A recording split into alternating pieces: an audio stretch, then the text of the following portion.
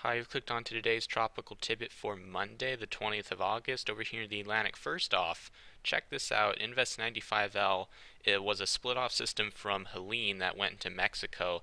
And as I've been talking about for a while now, these remnants are, th- are a threat for redevelopment over the water at the tail end of this frontal boundary that's now getting into the Gulf in the middle of August, which is impressive. This kind of situation over 30 to 31 degrees Celsius water means that we have to watch this. And you can see, if we uh, zoom in on this, that there's a little bit of a cyclonic uh, rotation trying to develop here south southeast of Brownsville, and uh, this is a little spread out and elongated for the moment. But during the next 48 hours, it will remain over the water and could have a chance to spin up into something. And the NHC is now watching this, and they're sending a plane into it uh, in a couple of hours. So we'll get to see what's going on here.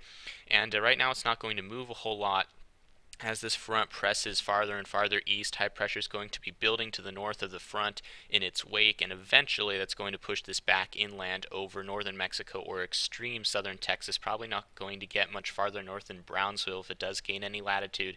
In general, this is going to increase uh, the rain chances for southern Texas and northern Mexico here, and rain will probably be the biggest story with this. Uh, but if it winds up quickly in a short amount of time, because remember, these small systems in the western Gulf, the ghost of Humberto, uh, can sometimes show up and uh, you got to watch these. But uh, probably not going to be a huge deal wind-wise, mostly rain, but something to keep an eye on uh, here in the Gulf.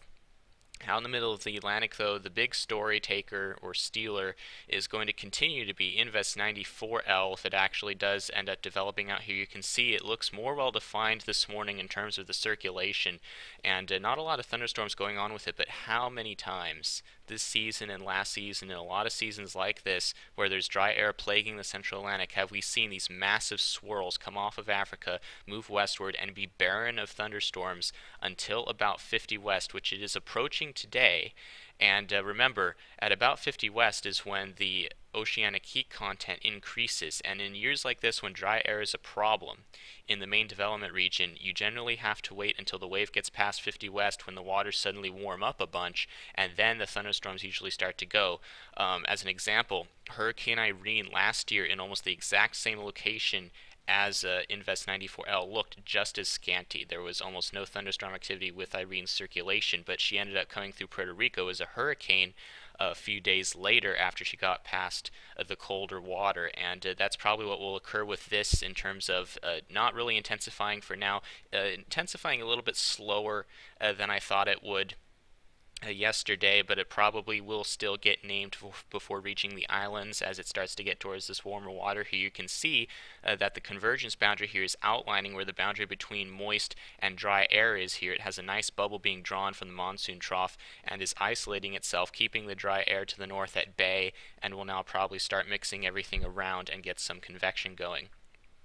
Now, if we look at the track of this thing, the philosophy hasn't changed a whole lot. This is the GFS out to day two on the ensemble 500 millibar. Notice we have the trough that was shoving the front in with 95L in the Gulf. This trough is moving on into the eastern part of the United States. We have the big ridge over the central Atlantic, and this will be steering 94L westward towards the islands, almost due west, maybe slightly north of, towards the northern Antilles uh, during the next few days.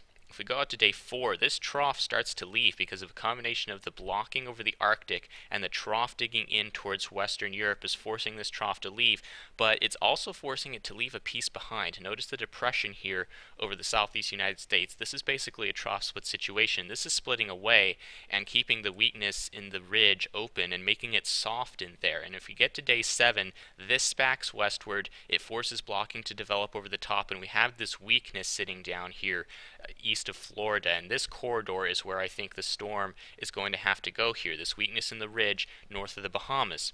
And the models are still disagreeing on where this is going to go. Within the last 24 to 48 hours, they flipped around a lot. Right now, we still have the European in the Caribbean with this by day 7, not really trying to develop it, probably a function of the fact that it's too weak on the model and uh, makes it go farther west in the GFS ensembles yesterday, the good majority of them were following the the European into the eastern Gulf of Mexico, uh, which is a little bit too far west for me. I much like I much better like the look of the 6Z ensembles from last night, uh, which have this coming across uh, the Dominican Republic and north of the Bahamas into the weakness that I mentioned before, the pattern favors a run at the eastern seaboard and uh, probably going to be turning north here. I don't think it's going into the Gulf unless it does happen to just refuse to develop, get torn apart in Hispaniola, and then uh, get tangled up with the islands and get into the Gulf. That's certainly not an impossibility, but I do think this is going to strengthen enough that by the time it gets to Hispaniola, it's already gaining latitude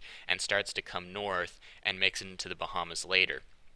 So in general, my track is uh, not changed too awful much, has been nudged southwest after the 48 hour mark, and the intensity has been lowered, which is also one reason why the track has had to shift, because again, the stronger the storm, the sooner it starts to move northward, and uh, I still think it'll get named by the islands here, and then it's going to probably interact with Hispaniola, and this will be the wild card right here, because if it actually makes a pass over Hispaniola, it's going to weaken a bunch, and uh, usually when these tracks try to come north over Hispaniola, they get a jolt westward uh, before they start to move north again, and that could mean uh, a lot of significant things for the Bahamas if this is a strengthening storm coming off of the islands, and then uh, if it gets enough time over water and doesn't run into Florida, it could be a problem for the eastern seaboard farther north. And this is looking more and more like a United States problem given how long this is taking to develop and how much farther west it is going to track. The pattern itself is a little bit farther west than it was for Irene last year. To give you an example, and Irene scraped North Carolina and went into New York City, and uh, the pattern is a little bit farther west than that. So it's possible this could be a solid uh, Carolinas landfall or the southeast U.S. coast in general in the long range, but we're still over a week out from landfall like that. So you can see by how wide the cone is here, the, the uncertainty is fairly large out here in the long range.